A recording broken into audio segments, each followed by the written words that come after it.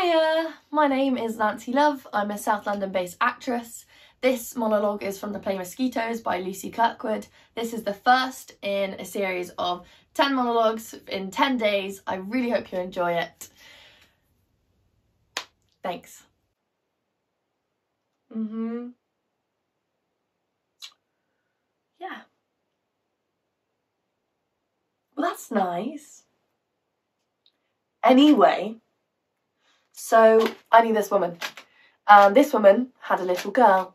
And when that little girl was a baby, she read this article in the paper. And in this article, it said that this scientist had discovered that this vaccine, this injection, the very same injection that her little girl was due to get the following week, that it was a danger, that it would make the brain of her little girl to go a bit wrong.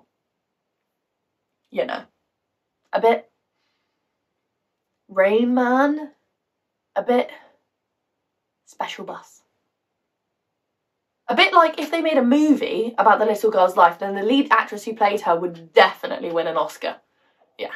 and on the one hand, she could grow up to be a musical genius, but on the other hand, they didn't really have any room for a piano, so. No, no, but wait, this is this is the best bit. So the woman puts her foot down.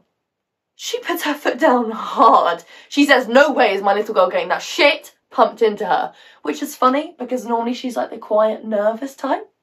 And anyway, so the little girl never gets the injection, and lo and behold, three months later, the woman discovers that her little girl is covered in red spots. And the red spots are followed by pneumonia, and the pneumonia is followed by a coma, and the coma is followed by, well, this me meeting her mother in a bar that's a little bit worse for wear, and her taking up smoking again in quite a big way. And I say to her, I say to her, no offense, sweetheart, but you look like shit. And she says, My heart is broken. And I want to die. And I say to her, I'm so sorry to hear that. Is there anything I can do? And she says, There's nothing you can do. What's done is done. I did it. And it can't be undone. I say to her, Don't be silly.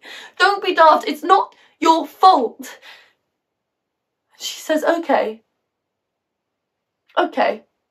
Well, if you get the scientist who wrote the report, and you get all the reporters who reported the report, and you get the Prime Minister who said the report was correct, and you get all the women on the internet who acted like they knew what they were talking about, when really they knew fuck all, and you line them all up and you shoot them all in the head one by one, then maybe I won't feel so fucking alone for a fucking minute.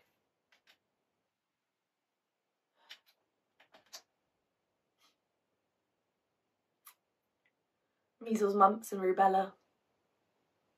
Sounds like a pack of lawyers, doesn't it?